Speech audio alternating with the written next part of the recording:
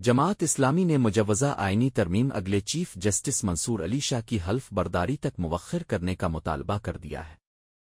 कराची में press conference करते हुए अमीर जमात इस्लामी हाफिज नईम अर रहमान ने कहा कि मुजवज़ा आइनी तरमीम का मकसद मर्ज़ी का चीफ जस्टिस लगाना और मर्ज़ी का अदालती निज़ाम कायम करना है। उन्होंने हुकूमत से मुतालबा करते हुए कहा कि आइनी तरमीम अगले चीफ जस्टिस मंसूर अली शाह की हल्फ बर्दारी तक मुअखर की जाए।